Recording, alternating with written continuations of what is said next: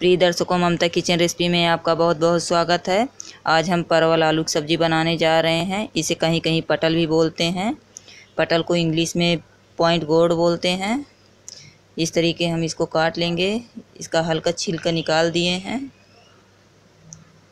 इस तरीके हम चार टुकड़ों में काट लेंगे। आप किसी भी आकार में काट सकते हैं। इस तरीके छोटे छोटे काट लेंगे। इस तरीके आप मोटा भी छिलका निकाल सकते हैं।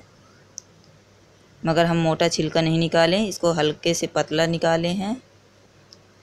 अगर आपको बीज नहीं पसंद तो बीज निकाल सकते हैं इस तरीके। बीज नहीं निकालेंगे हम, इसका बीज बहुत ही स्वादिष्ट होता है। 300 ग्राम पलवल हमारा कट के तैयार हो चुका है। 300 ग्राम आलू भी हमने उबाल लिया है छोटे छोटे आलू। इस तरीके छील लिए हैं, छिलका निकाल दिए आलू का, आइए मसाला की तैयारी करते हैं। मसालों में हमने ये तेज़ पत्ता रख लिया, लाल मिर्च, एक चम्मच, छोटा चम्मच, आधा चम्मच सब्ज़ी मसाला, एक बड़ा चम्मच हल्दी पाउडर, एक आधा चम्मच काश्मीरी पाउडर। ये तीखी नहीं होती, कलर के लिए इसको डाला जाता है। एक चम्मच गरम मसाला और एक चम्मच धनिया पाउडर हमने भिगो के रख दिया था। इसमें और पानी डालेंगे थोड़ा। इन मसी, मसालों को हम इसमें डाल देंगे।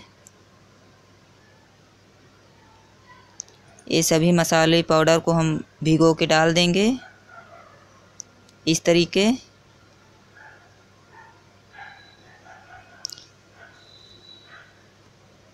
दो मिनट तक रख देंगे इसको। ये हमारा टमाटर है। दो टमाटर हमने बारीक काट लिया है। ये दो मीडियम साइज़ प्याज है। इसमें हरी मिर्च, लहसुन, अदरक भी मिला के बारीक काट लिए हैं। ये हमारी सब्ज़ी की सामग्री तैयार हो चुकी है। आइए आगे की तैयारी करते हैं। आलू को इस तरीके हम छेद लेंगे ताकि मसाला अच्छे से अंदर तक भर जाए और फ्राई करने में भी ये आसानी से अंदर तक तेल सीज जाए, बहुत अच्छी आती है। इस तरीके हम इसको छेद लेंगे।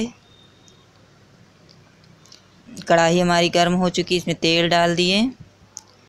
तेल भी हमारा गर्म हो चुका। अब इसमें आलू डालेंगे। छेदा हुआ आलू को डाल देंगे।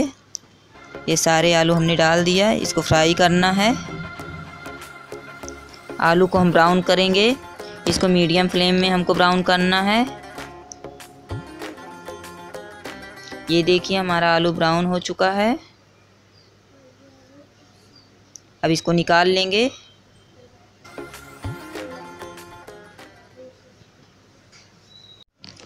कढ़ाई में और तेल डालेंगे। एक चम्मच जीरा डालेंगे।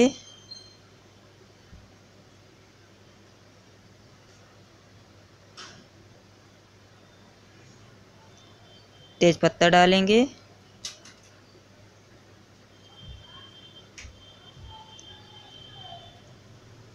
कटी हुई प्याज, लहसुन, अदरक डाल देंगे। इसको हमने बारीक काट लिया था। इसको दो तीन मिनट तक भूनेंगे। इसको हमको हल्की ब्राउन करना है। इस तरीके हम चला चला के इसको भूनेंगे। गैस तेज़ हमको कर देना है। हल्की ब्राउन हो चुकी है। अब इसमें कटे हुए परवल डालेंगे।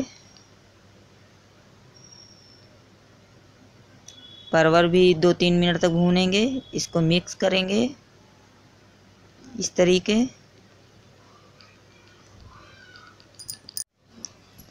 परवल हमारा अच्छी तरीके से भून चुका है। ये देखिए।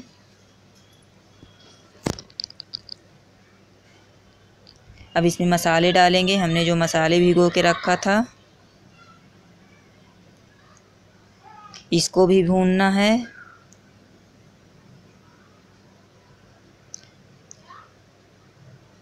इसको धीमी आँच में भूनना है हमको। मसाला हमारा तेल छोड़ने लगा, मसाला हमारा पक चुका।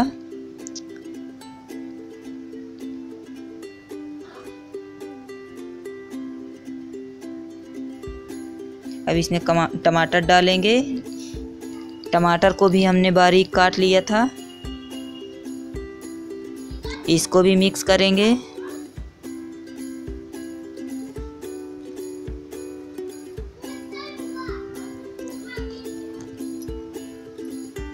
अब इसमें नमक स्वाद अनुसार डालेंगे।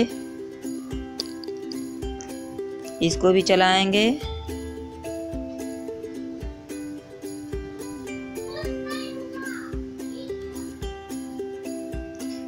फ्राई किया हुआ आलू डाल देंगे इसमें।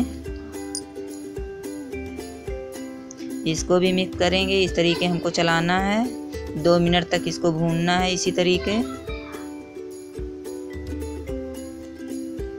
पाँच मिनट के लिए ढक के रख देंगे इसको। पाँच मिनट बाद ढक्कन हटाएँगे। ये सब्ज़ी हमारी बन के तैयार हो चुकी है, टमाटर भी पक चुका है। इसको आप ऐसे भी सर्व कर सकते हैं। मगर हम इसको ग्रेवी टाइप में बनाएँगे। एक गिलास पानी डाल देंगे इसमें। इसको 10 मिनट के लिए तेज़ आँच करके रख देंगे।